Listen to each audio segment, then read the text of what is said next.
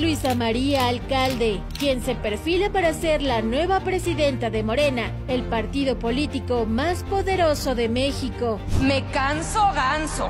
La actual secretaria de Gobernación, de tan solo 36 años de edad, es licenciada en Derecho por la UNAM y tiene estudios de maestría en Derecho por la Universidad de Berkeley, California. La transformación no se va, no se va, no se va. Feminista y luchadora de las causas sociales, es una de las fundadoras de Morena desde su conformación como asociación civil en 2011 etapa en la que fungió como coordinadora de jóvenes e incluso participó en los spots de ese partido. Morena, el movimiento del pueblo unido. La también ambientalista fue electa diputada federal por Movimiento Ciudadano para el periodo 2012-2015. Así que no nos van a intimidar, no me van a intimidar. Su familia es cercana al presidente, ya que su madre, Berta Luján, fue contralora de gobierno del Distrito Federal cuando AMLO era jefe de gobierno y presidente del Consejo Nacional de Morena. Luisa María participó en la Marcha del Silencio contra el desafuero de AMLO y en 2006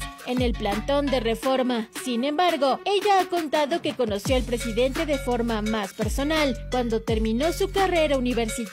En 2018 fue designada secretaria del Trabajo y Previsión Social. Yo le invité a participar como secretaria del Trabajo. Convirtiéndose en la mujer más joven en ocupar ese cargo con tan solo 31 años de edad. Y en 2023 llegó a la Secretaría de Gobernación, uno de los cargos más importantes en el gobierno. Y secretaria de Gobernación muy bien. Pero su historia no termina ahí, ya que ahora quiere ser la presidenta nacional de Morena. Presidir Morena, poder trabajar en la consolidación del partido. Donde planea imprimirle su juventud y experiencia a un partido que próximamente renovará su dirigencia. Un camino que no parece tener obstáculos, ya que Citlali Hernández, actual secretaria del partido y que también sonaba para buscar la presidencia, se ha bajado de la contienda. No participaré, porque me parece que en este momento eh, necesitamos que el cambio de dirigencia sea terso, sea en unidad, sea por consenso. Y aunque Claudia Sheinbaum se ha negado a expresar alguna preferencia, se ha dejado ver la buena opinión que tiene de alcalde. Trabajó tocando casa por casa, estuvo encargada de jóvenes Morena,